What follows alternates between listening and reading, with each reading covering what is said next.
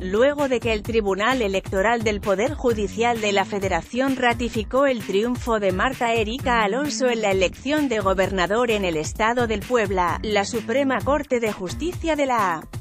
Nación, informó que respetará y no interferirá en las decisiones del Poder Judicial de la Federación, así como en las de cualquier juzgado, tribunal u otro poder, en ejercicio de su independencia y autonomía.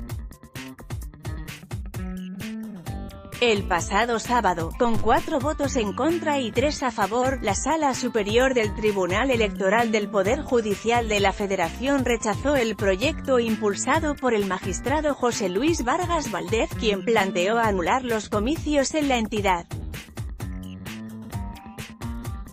Política Tribunal ratifica, Marta Erika será gobernadora de Puebla a través de su página oficial, los 11 ministros que integran el máximo tribunal de país, informaron, la arroba SCJN y sus integrantes respetan y no interfieren en las decisiones de la arroba TEP barra baja informa, así como en las de cualquier juzgado, tribunal u otro poder, en ejercicio de su independencia y autonomía.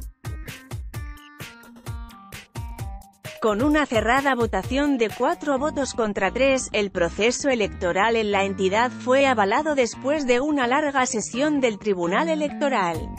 Punto. A favor del proyecto de anulación, presentado por el magistrado José Luis Vargas Valdez, estuvo Felipe Fuentes, Mónica Aralí,